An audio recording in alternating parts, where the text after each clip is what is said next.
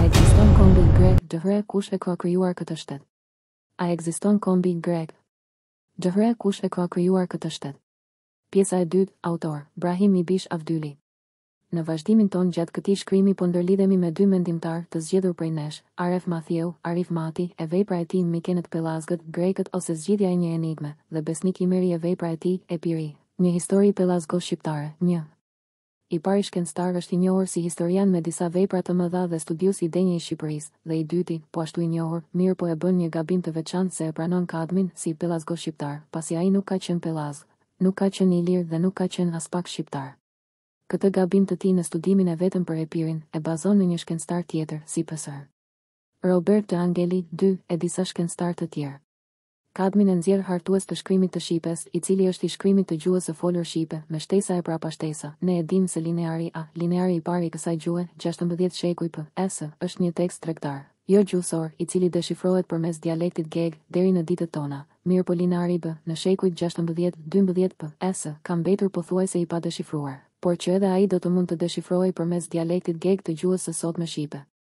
Ndërsa shkrimi i rrasës së Lenimit prej shekullit dhjetë, shtatë PS. tre, është provuar për të u deshifruar në disa gjuhë, e veçanërisht më së miri është gjuha e jonë. Në përputhje të njohjes së mirë të rrethanave historike e të ligjeve të gjuhës, pra vetëm të njohjes gjuhës shqipe, në Greqinë e vjetër, që sot quhet Greqi e Grekëve, atëherë ka qenë më tepër e fiseve, qyteteve shtete, apo e lidhjes së fiseve, por që e konsiderojnë veten si grekë, ndonëse e quanin veten si helenë në shtetin që nuk ekzistonte.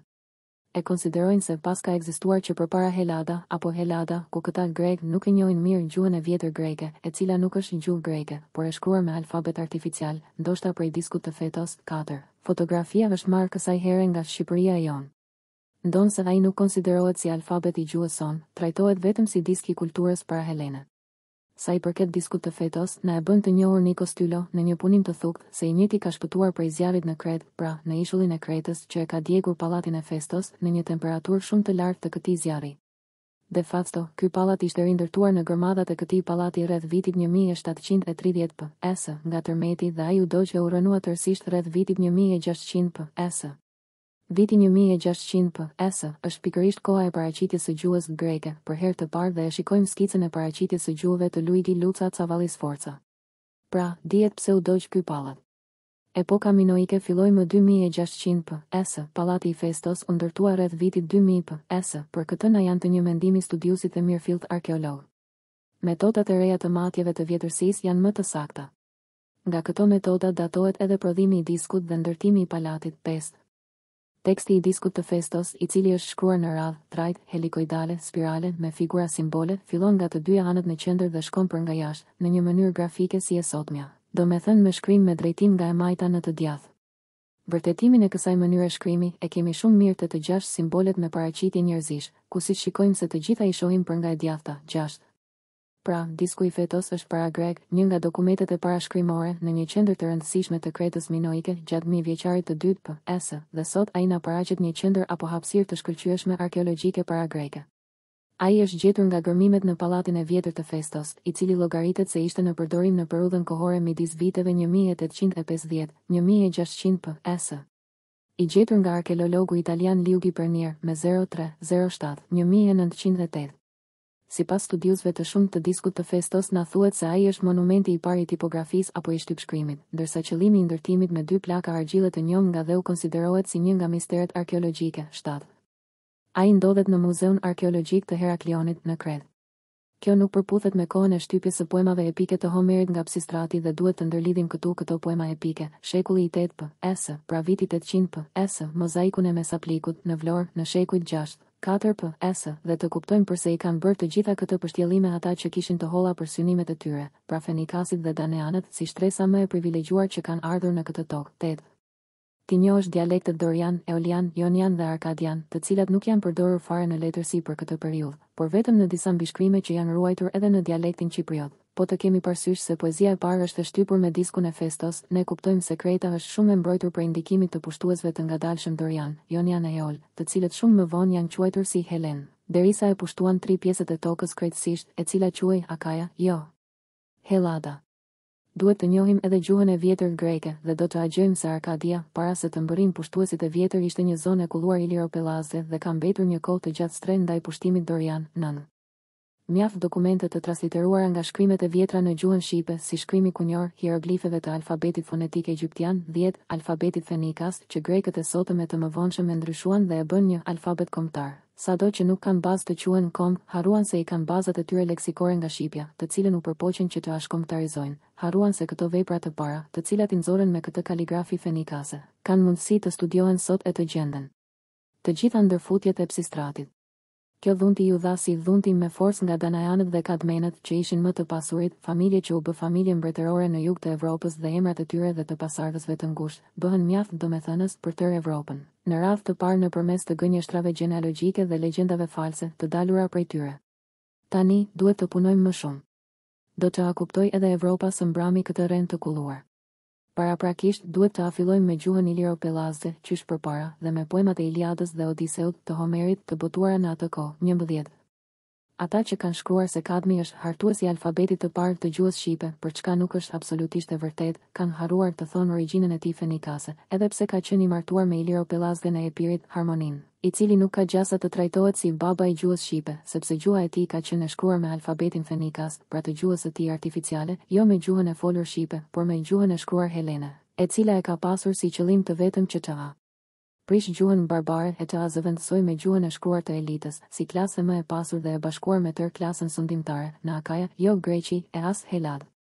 Arif Mati e shpjegon se Kadmosi trajtohej si ligjvënës hyjnor, shpikës i derdhjes së metaleve dhe ai që solli alfabetin e vet në Heladën e Vjetër, i cili duhet pas parasysh se në radhë të parë e quajnë hyjnor, e pastaj, se ai ka qenë fenikas. Dymbëdhjetë, aspak helen. Si e kemi shpjeguar në pjesën e parë të këtij shkrimi, fjala Heloi është marrë nga fjala Seloi dhe së bashku me Heladën Pellazge, ka dhënë Heladën apo Heladën greke. Ata quhen tërësisht në atë vend se janë grekë dhe e flasin gjuhën greke, edhe pse janë një konglomerat i madh pakicash kombëtare të kombeve të tjera dhe gjuha e tyre është gjuhë artificiale, që disa i thonë se është gjuhë teknike. Ky pushtim fenikas, por jo helen, historia e ka lënë të heshtur, nga legjenda që na e ka lënë emrin e Kadmin. Kadmosi rrjedh nga rrënja semitike Kadem, a, që, duke mbërritur, apo, duke ardhur prej diku, i cili është prej Fenikisë. Sipas një legjende nga të gjitha legjendat e tyre, ne mësojmë se Agenori, mbret i njohur i Fenikisë, ka qenë bir i Poseidonit dhe Libisë, pra, janë emra, që i simbolizojnë emrat e ndryshëm, p.sh. Ky i fundit, femra Libia simbolizon shtetin e Libisë.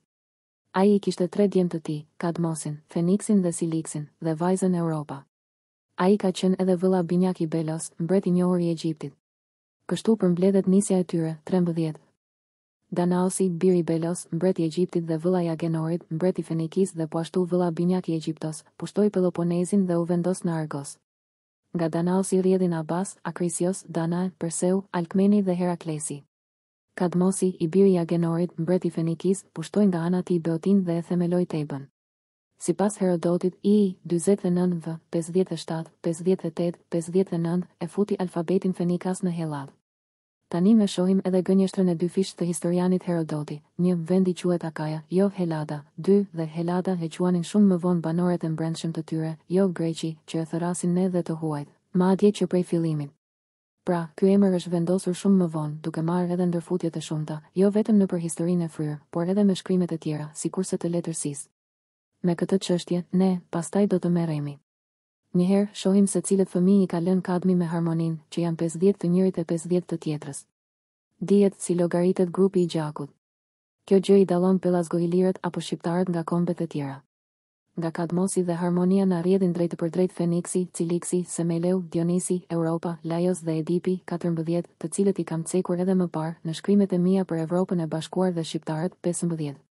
Këtu Kadmi e ka përtërirë edhe një herë Evropën, në gjenealogjinë familjare dhe e dime se si Fenikasit bënin tregëti nëpër tërë kontinentin e Evropës.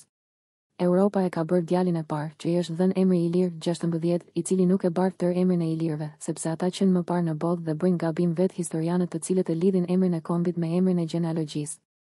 Dorianët kanë qenë pushtuesit e Mikenës dhe rrënimit e lënies së tyre të heshtur mileniume me radhë, ndërtues të pallatit të Minos në Kretë, pushtues të mbarë Peloponezit, prej të cilëve kanë ardhur Danaenët, Egjiptasit, Kadmenët, Fenikasit, dhe Pelopidët, Asirianët. Për këto arsye janë quajtur Semito-Egjiptianë. Danaosi, vëllai i Egjiptosit, pushtoi qytetin e Argosit, pasi e dëboi prej andej mbretin e Argosit, Pelasgosin, që ishte eponimi i Pellazgëve, shtatëmbëdhjetë, pra shqiparëve të sotëm. Dorianët nuk janë dorët, të cilët janë populli i vërtetë me zanafillë ilire illyre, e që lidhet edhe ylirët frigë, nga na rrjedhin vetë pellazgët, nga Pellazgoi apo Pellazgji. Kadmos është themelues i qytetit të Tebës, që është homonimi i kryeqytetit të lashtë të Egjiptit. Ai e futi shkrimin e parë me dredhi, shkrimin fenikas, në Akaja dhe me këtë punë na kanë lënë shekuj me radhë të notonim symsheltë në përllumin grek, me fjalët e marra prej shqipes dhe mbaresat greke. Kadmi e mori, os, në fund të emrit, Kadmos. Pelopsi, asirian i ardhur nga Asiria, ia dha emrin Peloponezit, tetëmbëdhjetë. Nga kjo gjë del në shesh se ky është një episod shekullor simptomatik i pushtimit të vendit tonë nga të huajt, i cili, më parë është quajtur Pellazgji. Të gjithë autorët antikë të Greqisë, që do të bëhej më vonë, e pohojnë një gjë të tillë, nëntëmbëdhjetë. Këtu kemi të bëjmë me disa gabime të mëdha.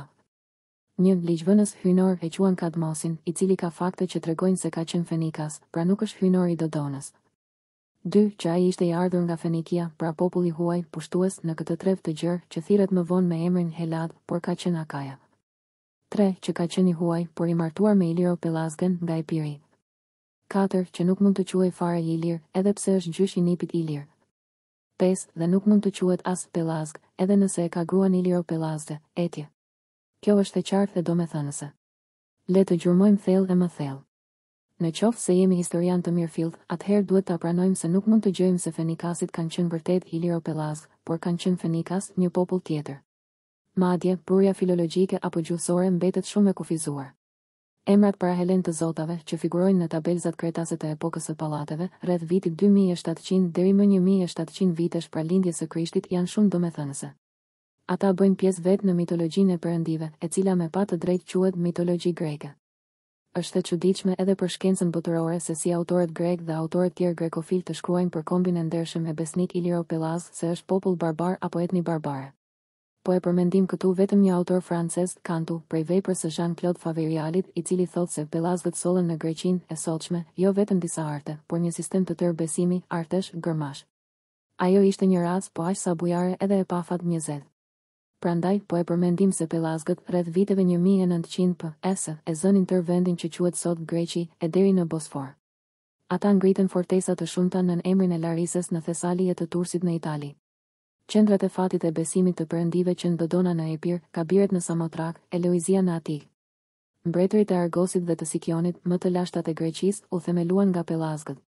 Kur vijnë të ashtuquajturit helenë, nuk u mjaftuan që i mujtën pellazgët, por kërkuan edhe që të i poshtëronin.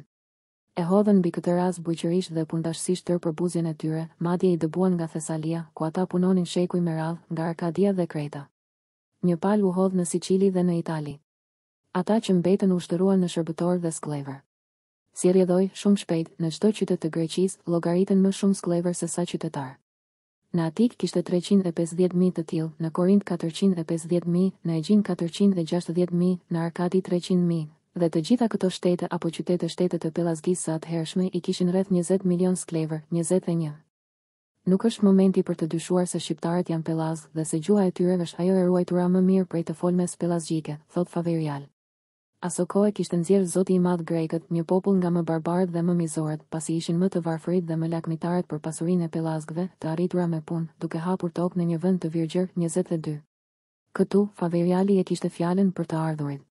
Po themi edhe diçka tjetër, nga tregimet e historisë së gjenealogjive familjare nuk të thirren popujt, etnitë dhe kombet, vetëm nëse ata që i mbajnë këta emra janë mbretër e ligjvënës dhe ata e ndërrojnë duke u prirë atyre. por ne e dimë se kanë qenë ligjvënës e mbretër të një populli, etnie dhe kombi. E njëjta gjë është me emrin e ilirëve, njëzet e tre. Kjo është dredhia e tretë e emrave të etnive. Sigurisht se i është dhënë emri bazë i ilirëve edhe emrit të Ilirit, djalit të Europës, bijës së Harmonisë dhe Kadmit, tregtarit të pasur, sepse të pasurit kanë ditur të bëjnë sa e sa dredhi dhe ka dashur të i ketë nën vete edhe ilirët. Mitet janë mite. Por ne po e sjellim një mit tjetër të lindjes së ilirëve.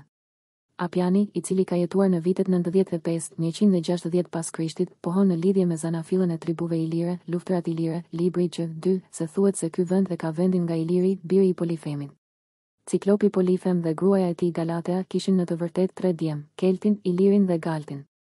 Për këtë arsye u quajtën Kelt, Ilir dhe Galt të gjitha mbretëritë dhe popujt, njëzet e katër, që ishte gati e tërë Evropa, si kontinent, në pjesën dërmuese. Madje, kur thotë se baba i tyre ka qenë ciklopi Polifem, nënkupton se ka qenë me trup i madh, e që janë gegët, të cilët janë quajtur gjiganti, pra ciklopi. Ndërsa lidhjet e vjetra të arvanitasve me pellazgoilirët dhe shqiptarët e sotëm duhet t'i gjejmë përmes shkrimeve të vjetra parahelene dhe para vendosjes së kolonëve të vendit të mbiquajtur Greqi, të daneanëve, të kadmosëve e të asirianëve. Ilirët dardanë, dardhanë, kanë qenë pasardhësit e trojanëve dardanë, siç na thotë Homeri, zemërbardhë dhe besëtarë të ndritur, dhe kanë banuar në Dardanele, me qytetin e madh Troja. Për ta mbështetur këtë çështje, po e marrim edhe një citat nga vepra e Sulejman Matos, e cila thotë se emrat Dardan, Dardhan, të prijësve trojanë, si Troi, Ili, Priami, Ankizi, Enea, etj. janë në përshtatje të plotë me ligjërimin dhe kuptimin e gjuhës shqipe. Në vepër përmenden djem, nuset dhe dhëndurrët e shumta të mbretit Priam.